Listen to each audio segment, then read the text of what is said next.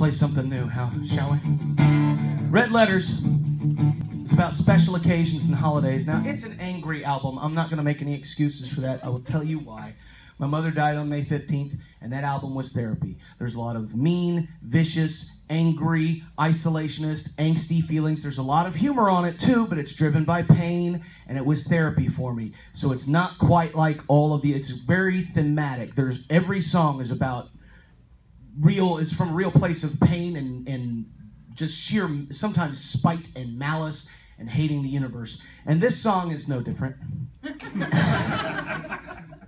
uh, this song is about, well, kind of about a, a holiday, but really about a special day following a holiday.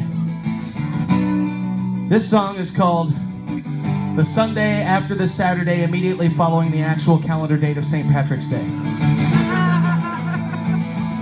The worst of it is over. Everybody tries to sober up from yesterday's parade and last night's fake drunk Celtic pride. It's a drunken celebration like a frat boy libation, making every real Irishman a little dead inside. Dodging puddles of green glitter with shamrocks on it, and all the cheap green crap plastic shit a bar could give away. It's a Sunday after the Saturday, immediately following the actual calendar date of St. Patrick's Day. I hate the Sunday after the Saturday, immediately following the actual calendar date of St. Patrick's Day.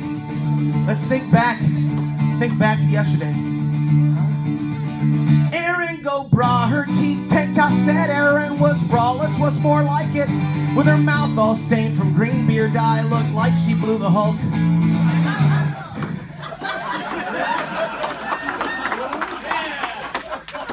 and his Abercrombie collar poking out from under his $4 Kiss Me shirt and Guinness beads they give away in bulk. They did jello shots of Jameson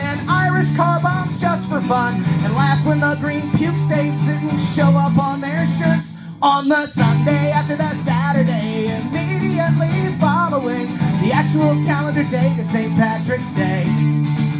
I hate the Sunday after the Saturday, immediately following the actual calendar date of St. Patrick's Day.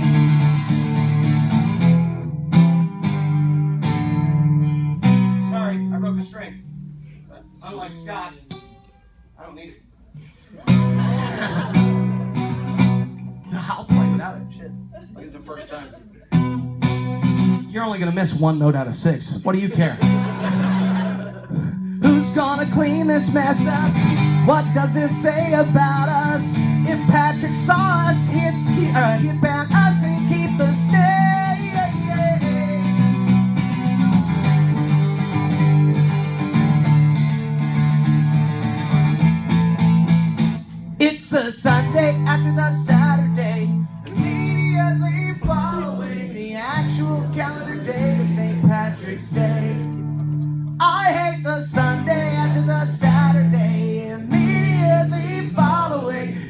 The actual calendar date